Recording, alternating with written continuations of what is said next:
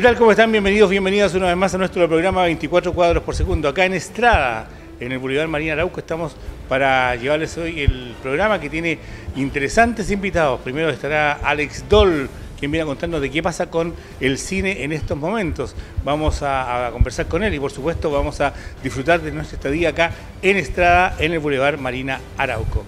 Bienvenidos, bienvenidas a 24 cuadros por segundo.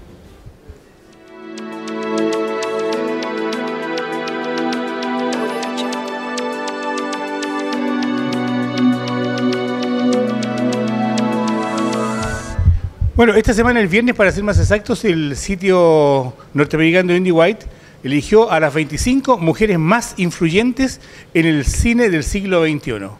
Entre las 25 mujeres hay actrices como Uma Thurman, por ejemplo, pero hay tres chilenas. Vamos a revisar las tres chilenas que fueron elegidas como las más destacadas y relevantes de este siglo XXI en ese portal. La primera de ellas es Paulina García, por Gloria, la segunda es Daniela Vega por Una Mujer Fantástica y la tercera es Catalina Saavedra por La Nana. Veamos qué pasó con cada una de ellas en esta elección.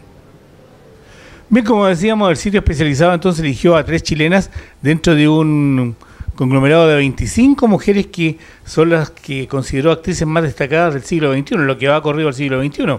Entre otras, por ejemplo, está Uma Thurman, Viola Davis, Isabel Huppert, Naomi Watts, Marion Cotillard, es un, un, universo bastante importante en cuanto a actrices de categoría. Bueno, ¿qué pasa con las actrices chilenas? Eh, con Paulina García, García dijo que su rol protagónico en Gloria, de película del año 2013, dijo que, comillas, lo leo textual, ofrece una encarnación fascinante de frustraciones de la mediana edad, cierre comillas. Esto lo dijo sobre la película de Sebastián Lelio. Agregó también que Paulina García impregna al personaje una mezcla de tristeza y anhelo que prepara el escenario para el final galvanizado. La película Gloria es una mujer soltera y divorciada que, de pronto, se encuentra con Rodolfo, una actuación espectacular de Sergio Hernández, un hombre de negocios que está dispuesto a entregarle todo el romanticismo, algo que la mujer la hace dudar. Y el sitio agrega, comillas, uno de los papeles modernos más grandes para una mujer mayor, continúa siendo como inspiración y un desafío para la industria cinematográfica global para inscribir más de ellos. Y eso es lo que se necesita, que haya más personajes como Gloria. Eso lo dijo el sitio. Y bueno, en las otras actuaciones también eh, no, no dejó de lado reconocimientos, como por ejemplo a Catalina Saavedra, eh, donde con la película La Nana del año 2009, ella dice, el sitio dice que es una actriz que interpreta a una amargada empleada doméstica que había amenazado su puesto, ese es el, el encuentro de la historia. Y cuando llega una nueva trabajadora al lugar, ¿cierto? Ella pensó que la, la despedían, luego de que la protagonista experimente problemas de salud. Y el sitio dice textual, comillas, Saavedra entrega una brillante calidad insultante a la historia, con una mirada que juzga y a la vez amenaza, sirviendo como remate clave del caos que está presente en esa relación, cierre comillas. Eso lo dijo el sitio eh, Indie White y recalcando y, cerrando de Catalina Saavedra con un, comillas, entrega un antihéroe para la historia, cierre comillas. O sea, yo creo que es un, unos calificativos espectaculares como para que lo reciba Catalina Saavedra como actriz. Y de Daniela Vega, creo que todos estamos de acuerdo con lo que dice el sitio Indie White. Una mujer fantástica del año 2017 que tiene como actriz destacada a Daniela Vega. Sobresale porque, comillas, hay pocas actuaciones para las mujeres transexuales, cierre de comillas. Y dicha performance hace que sea, comillas nuevamente, una pieza esencial en la historia cinematográfica, cierre comillas. Al igual que Gloria, el director chileno Sebastián Lelio ofrece un retrato fascinante de la feminidad desafiante.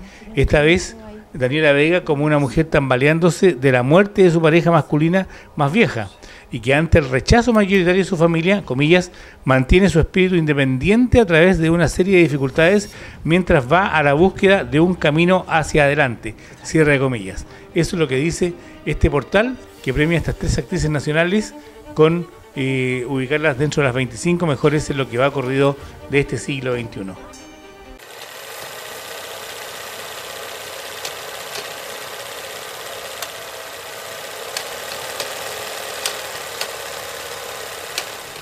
Y llegó el momento del cortometraje. El de hoy es Un lugar especial y es la historia de un niño que además este, este cortometraje fue elegido para que representara a nuestro país por estos lugares especiales que recorre este niño y al lugar que finalmente llega. Le invito a que lo veamos.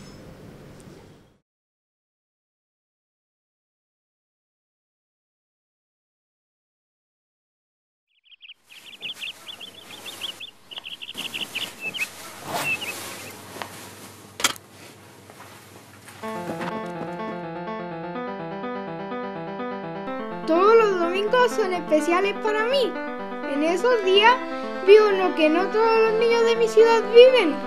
Porque lo que yo hago es como... mmm, no sé... magia. Con esta magia puedo visitar lugares interesantes. Lugares con colores. Lugares con historia. Esta es la gran ciudad donde yo vivo. Y es la única que conozco. Aunque haya muchas, esta es mi ciudad, Santiago. Pero Santiago tiene un pequeño gran lugar donde yo pertenezco y siempre, siempre perteneceré. Soy Ronald, tengo 10 años de edad y este es mi lugar especial.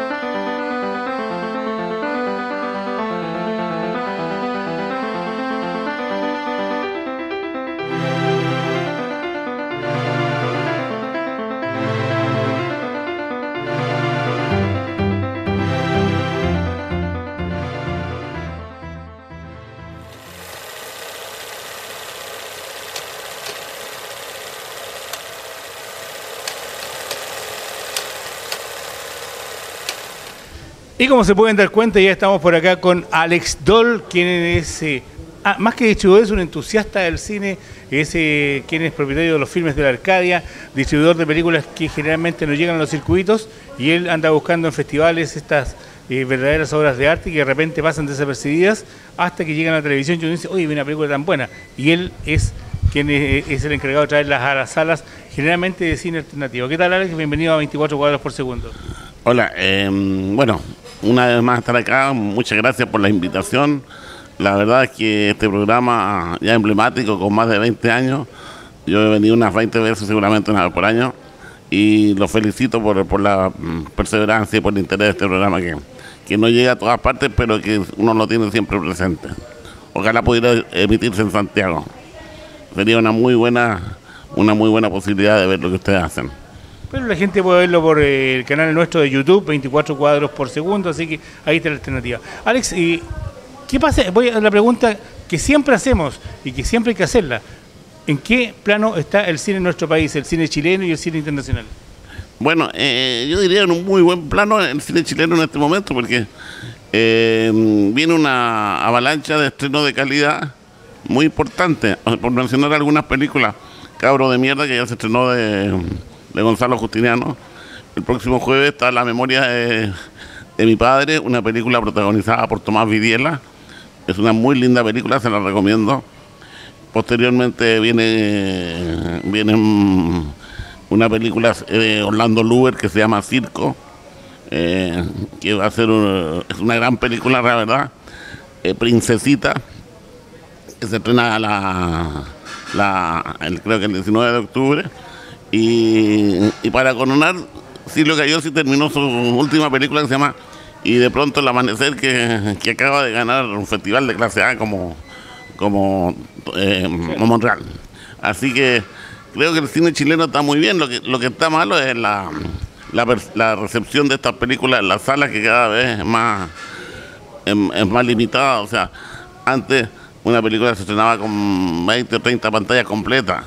Ahora al cine chileno le dan media pantalla en los complejos, si no funciona la primera semana, se va a una función la segunda semana y en la tercera semana no existe.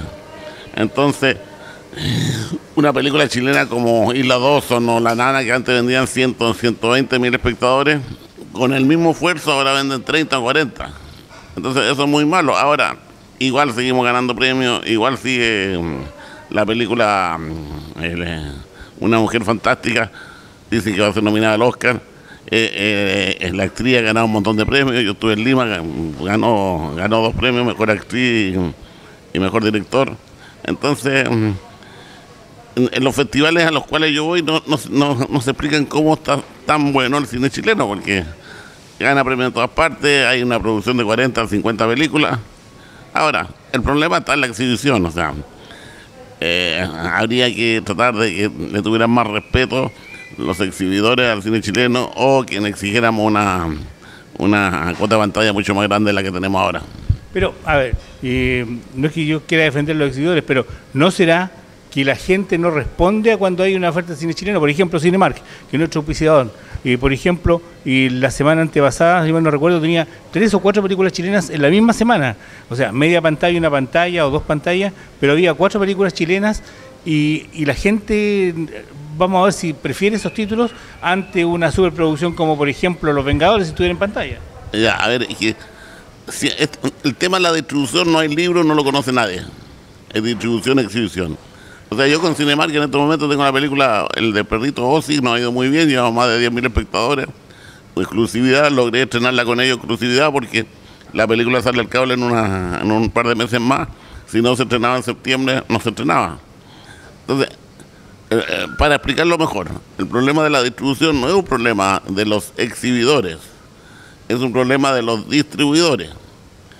Y los distribuidores hay tres majors que son la mm, Cinecolor, eh, Films y Fox, y Fox Warner Chile, que tienen el 70-80% del material que se distribuye en el mundo.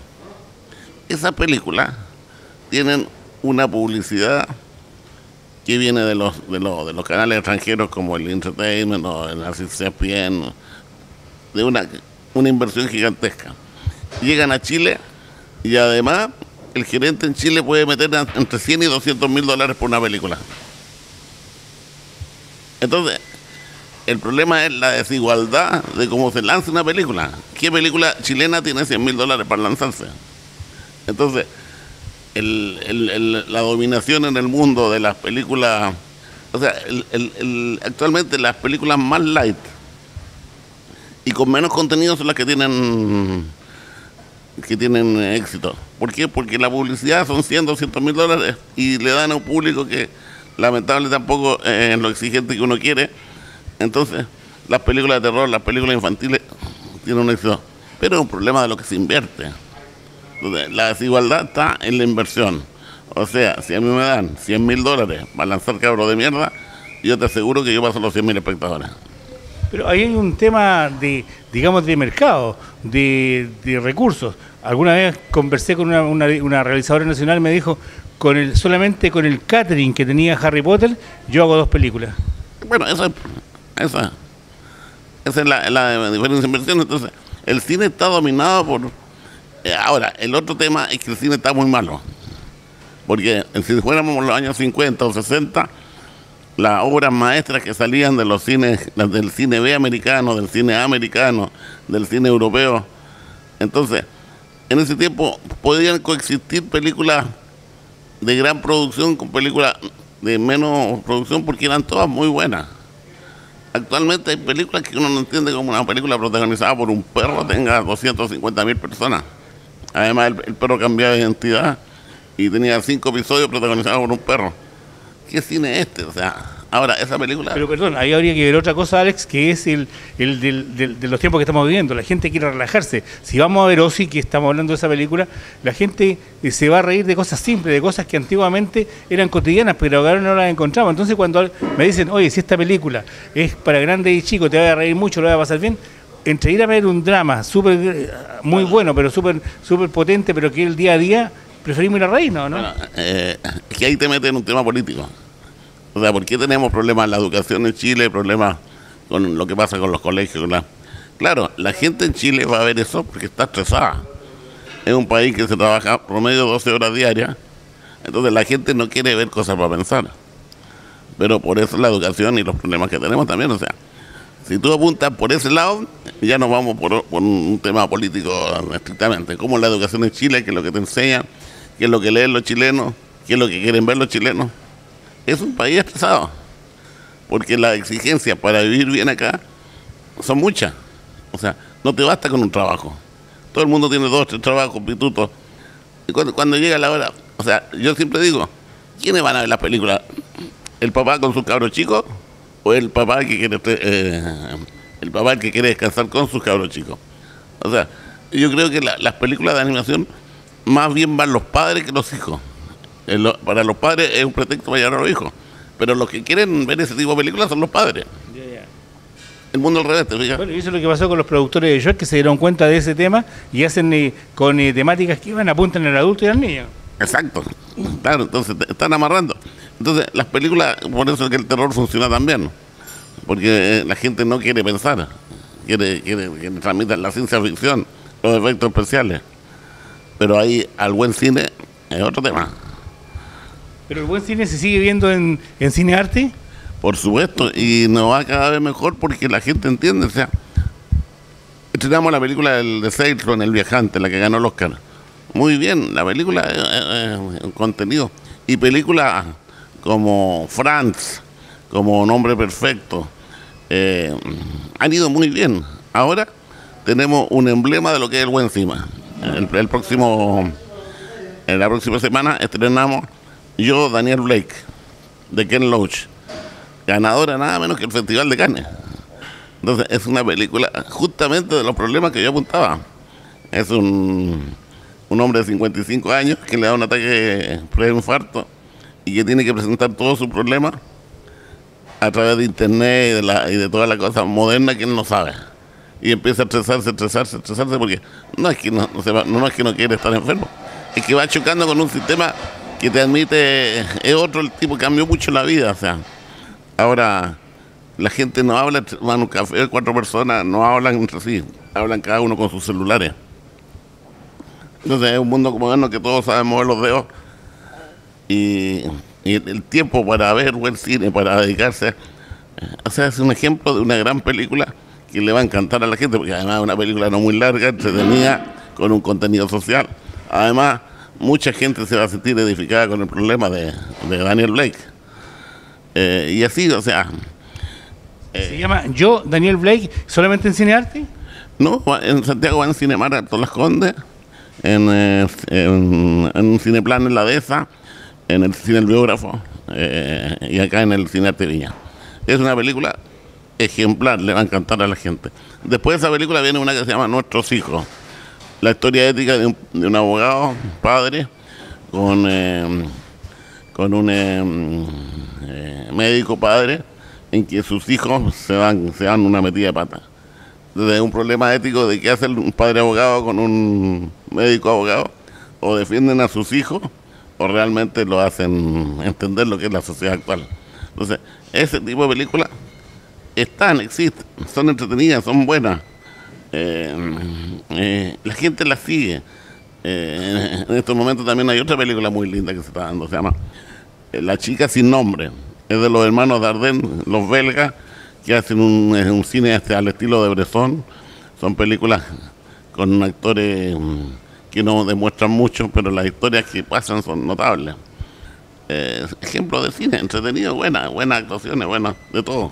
Bueno, ahí tenemos el tres eh, recomendaciones, tres ejemplos de buenas películas que nos dice Alex Doll y que como siempre es tan, tan entretenido conversar con él de cine, podemos estar días enteros, siempre lo digo, parece ya cliché, pero espero que ahora sí sea más corto a la espera. Sí, de todas maneras, y como te digo, vamos a estar recomendando películas, yo tengo la, camiseta puesta, tú sabes, con el cinearte, porque ya 33 años que, lo manejo en la programación el cine arte está con tecnología nueva, está con Dolby Stereo, está con, con la última tecnología, tecnología del cine.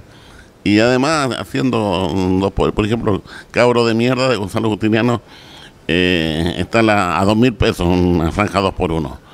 Y haciendo siempre cosas novedosas, los días martes se van a reiniciar los cines mil pesos, que nos van a darse películas de David Lynch, de todos los clásicos que alguna vez pasaron por nuestra sala. Entonces, eh, y es más, yo creo que hay algo en el futuro del cine que viene con las copias restauradas. Yo me vi un festival en Pinamar en, el mes de, marzo, y como 20 películas de muy buena calidad, casi toda europea, ya se han estrenado varias en Chile, eh, en Francia, entre ellas Graduación que viene pronto. Ahora, me asombró que vi una película que yo había visto hace 20 o 30 años se llama César y Rosalí de Claude Sautet con Romy Schneider y, y un montón. Una obra maestra. O sea, una película restaurada que antes era una película del montón, ahora son películas buenísimas. Y se viene eso, películas restauradas en copias impecables que se van a ver mejor que antes, porque además están mejoradas. Y, yo creo que es una gran beta para el cine. Eh, de, de, hecho, la próxima película restaurada que yo, que yo ya tengo negociada se llama Vivir su vida de Godard, que es un clásico con Ana Karina. Y, y yo creo que exhibir ese tipo de películas, reencontrarse, educarse, y, reitero, los, festivales que se aprecian de tales, tienen que buscar las películas divertidas, entretenidas, que le, que le gusten a la gente. En el último festival de Viña habían tres o cuatro películas notables, como Maracaibo, como Te Esperaré, La Puerta Abierta, que eran películas cortas, divertidas, entretenidas, la que ganó el último día en La Habana. Eh, la región salvaje. Películas que deberían llegar a las carteleras. Algunas de esas felizmente yo las tengo ya negociadas. Y son películas que, que sí le gustan al público. Y no son películas herméticas que no se va a aburrir ni se va. Entonces esa es la venta del cine que nosotros tenemos que buscar. Muy bien, muchas gracias y esperamos que estemos en una próxima oportunidad. Bueno, como siempre, dispuesto a seguir colaborando con este hermoso programa. gracias.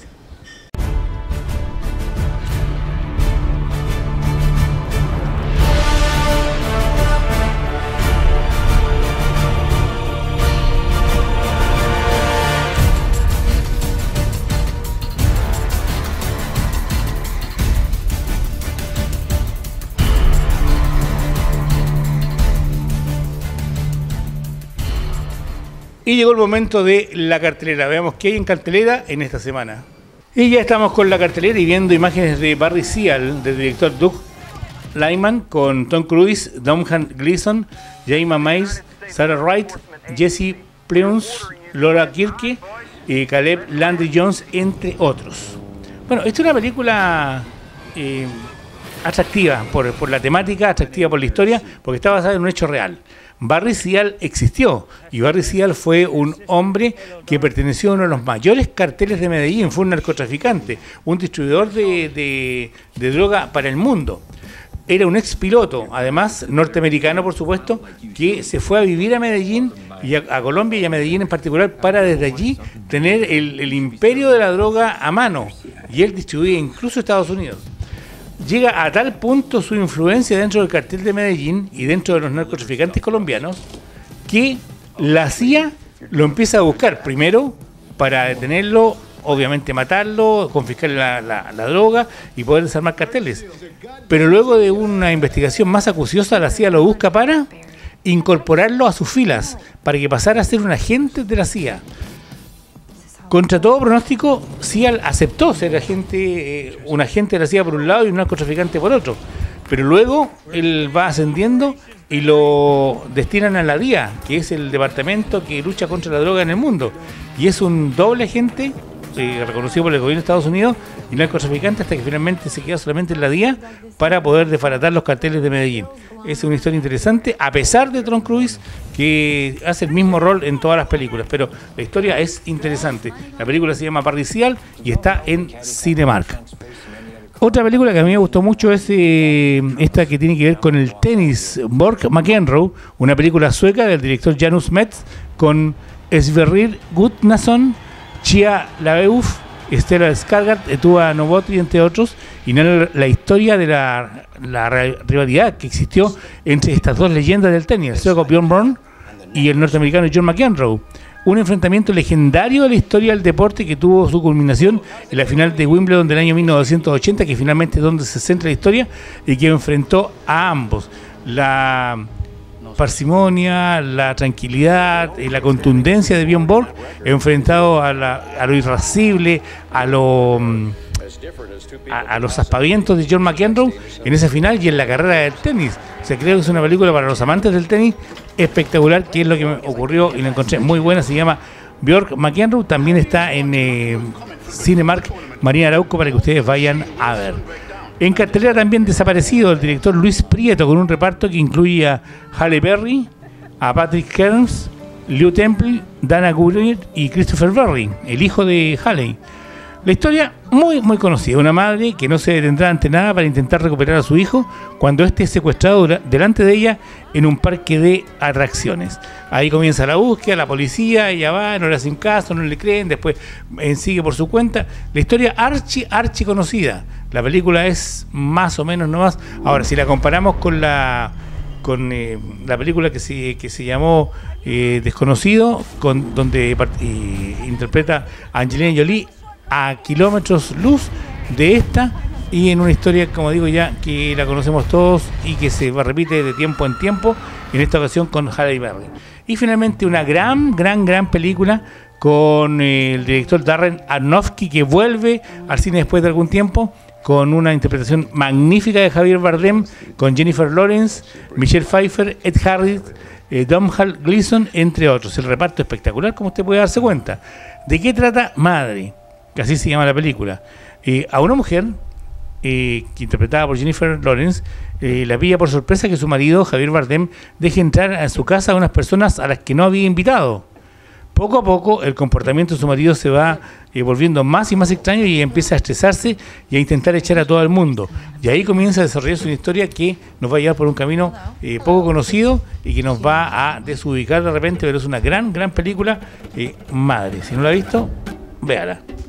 Y en cartelera aún sigue Annabel, sigue eh, Ozzy, el perro que ya nos comentaba Alex Doll, una película entretenida para grandes chicos, donde usted se va a ir a reír, lo va a pasar bien, va a tener un buen momento y la cartelera que está como un tanto estancada durante estos tiempos, estos meses, como es habitual cada época de septiembre, octubre en el cine. Y antes de terminar la cartelera, eh, se nos había quedado en el tintero, y eh, usted quiere ganar invitaciones a Cinemark, por supuesto, quiere ganar estos premios de Altair la luz del poder que nos ha entregado Luis Saavedra. Bueno, vaya a Twitter, 24 cuadros por sec. Si no nos sigue, síganos y se inscribe. Quiero participar por eh, la colección de Altair, la luz del poder, o por las invitaciones a Cinemark. Y el primer programa del mes de octubre entregaremos estos premios. Ya lo sabe, ahí están apareciendo en pantalla las invitaciones y están apareciendo en pantalla los textos de Altair, la luz del poder, para que participe con nosotros. Y nos vamos, hasta aquí quedamos en el día de hoy, esperamos que el programa les haya gustado y les invitamos cordialmente para juntarnos en siete días más para seguir hablando de cine en nuestro programa. Recuerde, si quiere alguna película que buscó por muchos años y no la encontraba, Rewind en el tercer, en el segundo nivel digo, de Calle Valparaíso con Villanelo, en pleno centro de Viña del Mar, 10.000 títulos para que usted encuentre el que andaba buscando. Si busca soundtrack, discos en vinilo hay, pero una cantidad increíble, vaya, va a encontrar todo el cine, toda la música, libros de cine, el cine está concentrado en Rewind. Y también si usted quiere participar de nuestros concursos, tenemos invitaciones para Cinemark, Cinemark con 14 salas tipo estadio en Viña del Mar, Boulevard, en el María Arauco y en el espacio urbano para que disfruten del cine como en el cine. Y nos vamos, hasta aquí quedamos en el día de hoy, que les vaya muy bien, hasta la próxima, gracias.